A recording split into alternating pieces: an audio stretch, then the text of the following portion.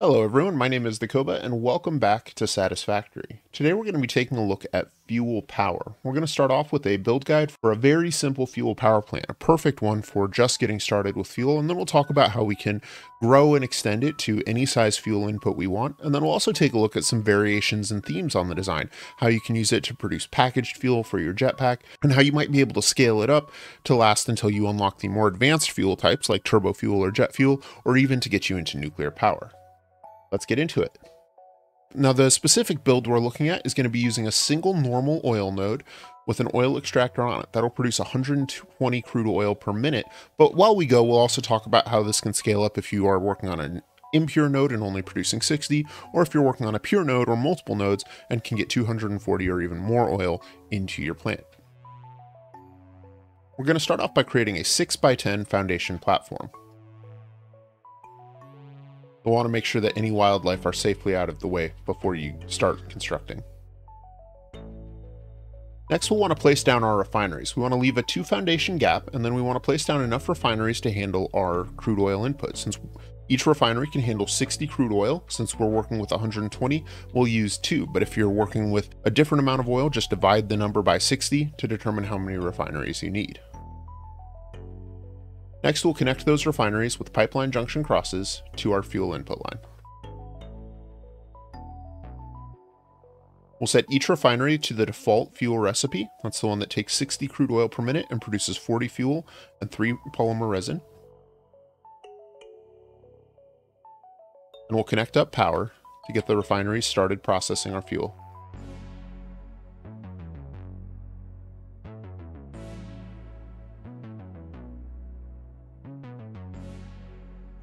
Alright, now we're going to have to handle both the solid and fluid outputs on these refineries.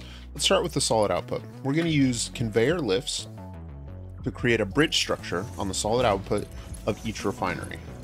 At the bottom of those conveyor lifts, we'll place a, a conveyor merger. Now, if we target the bottom of the lift directly, it'll snap right in and fit perfectly, but we do want to make sure that the green output arrow is facing towards the empty space that we left on our foundation platform. We'll connect these up with conveyor belts and then feed them into an awesome sink to process our polymer resin. Alternatively, we could process this into additional plastic or rubber. We'll take a look at that in our next design. To process the fluid outputs, we'll run a pipeline underneath the bridge structure and then loop it around to the center point of our foundation platform. At this point, we've used up five of our foundations and we should have five left.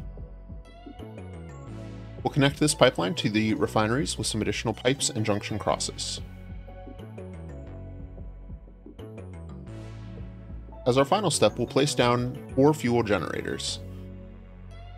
We want to make sure that their fuel inputs are facing towards the center of the platform.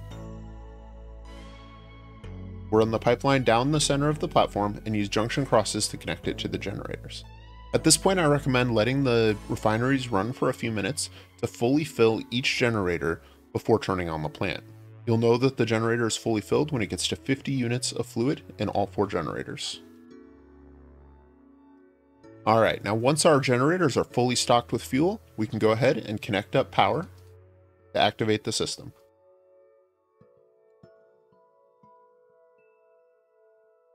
And that's it. This is a stable power plant producing 1,000 megawatts of power. Again, this can be easily scaled. If you have an additional oil node nearby, say we wanted to tap this impure oil node over here, we could send that along the, sa the same input pipeline and simply run a third refinery in the remaining space, connect that in, and then add two more generators onto the end. So this design can be scaled in that way very simply to almost any size of fuel input. The limiting factor there is the amount of crude that you can supply in your pipelines. I'm using Mark 1 pipelines here, so I couldn't do that with more than 300 crude oil on, on the input line. However, if you do have more oil than that, you can build multiple plants and run them in parallel as well.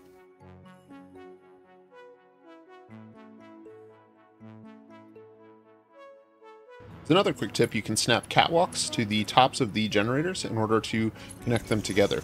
If you don't place the generators the perfect distance apart, you'll end up with gaps, but you can simply uh, snap onto the other side, and you may get a little bit of overlap with your, uh, with your railings, but otherwise the catwalk works just fine.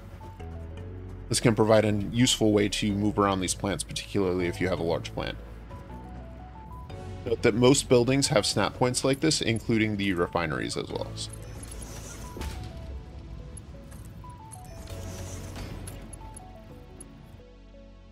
Let's take a look at a slightly more advanced version of this same design.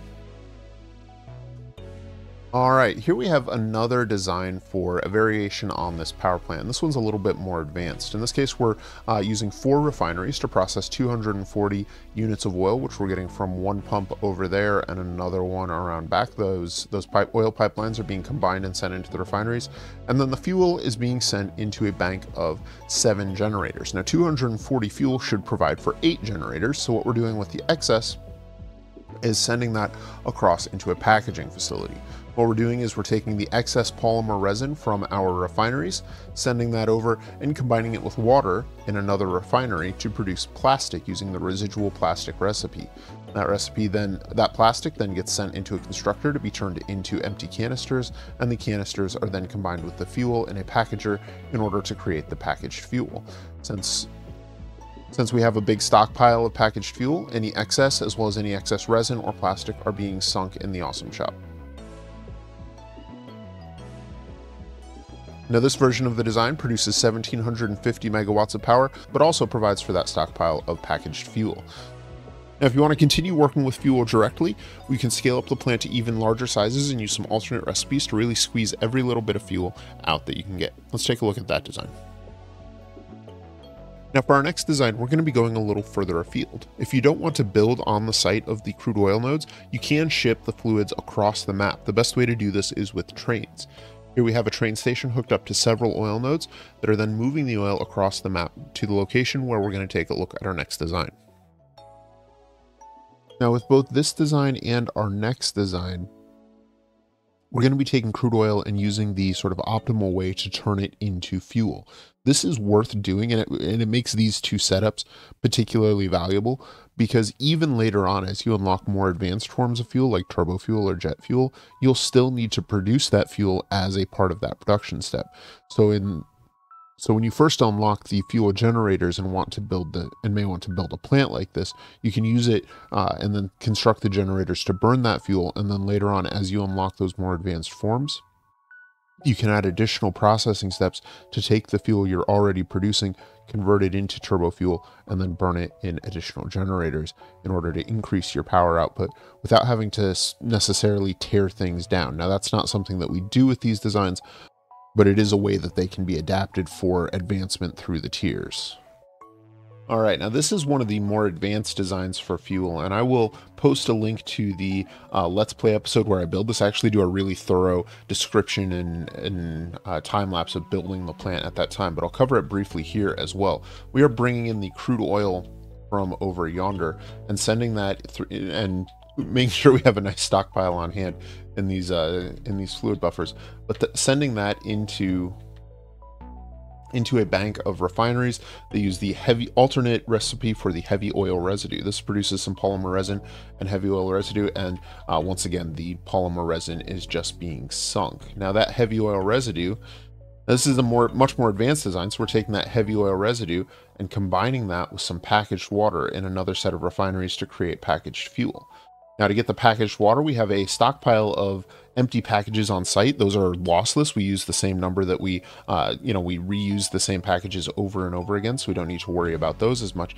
But to get the water, we are bringing in uh, pipelines from a bank of water extractors off to the left and sending those in. Each section of this plant uses 450 units of water, so we have four extractors to accommodate that, and we're using Mark II pipelines so that we don't overflow.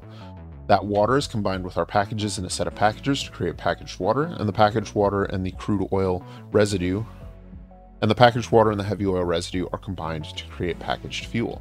That packaged fuel is then unpacked. So now the empty packagers then flow back into the system, and the fuel then goes into another set of storage tanks and on into the generator array. In this case, we would use 22 generators to produce 5,000 megawatts of power. So that's 21 at full speed and another one at 33.33% speed. This plant was originally built in a older version of the game where you needed more generators, so you can see the other wings have that. Again, I'll leave a link to this build in the description. This is a tier 6 build. It doesn't require blenders, but it does require some alternate recipes. One other design element I want to highlight with this plant is that we once again use gravity to assist with moving fuel from place to place.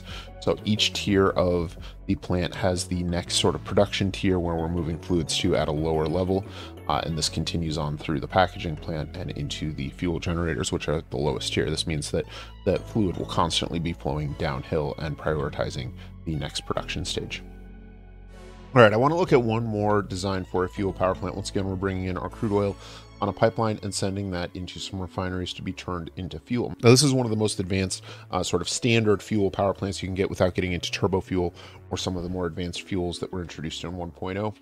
This plant, like the other one we looked at, produces a large amount of fuel, which can then be adapted as a component step in a in a power plant for turbo fuel, jet fuel, or ionic fuel.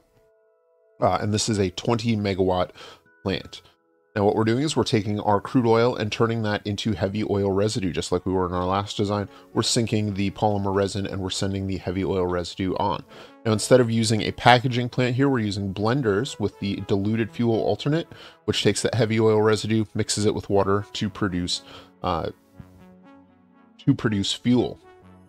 That fuel is then uh, going on into a bank of generators. Now, when this plant, now when I first designed this plant, the generators were less efficient. So you actually need 22 generators with this design.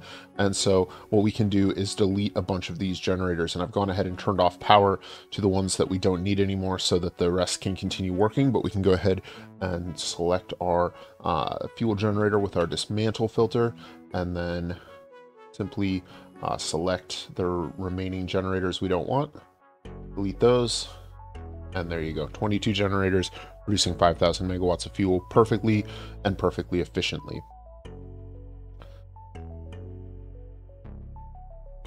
Once again, I'll post a link to the build guide for this particular power plant uh, in the description. It is an older video. I'm planning on doing a new version of it at some point, but uh, the only major change to it is that you only need 22 generators instead of the, I think, 30, 34 that I had listed on there previously. And I think that's where we're going to leave it for today. I hope you guys have enjoyed this video and found it helpful. Leave a like if you have and subscribe if you'd like to see more. I'd also love to hear from you in the comments what you guys are working on in Satisfactory and would like to see uh, these sort of design and build guides for in the future. So drop a comment and let me know what you are looking for. My name is Koba, and I hope you have an efficient day. I'll see you soon.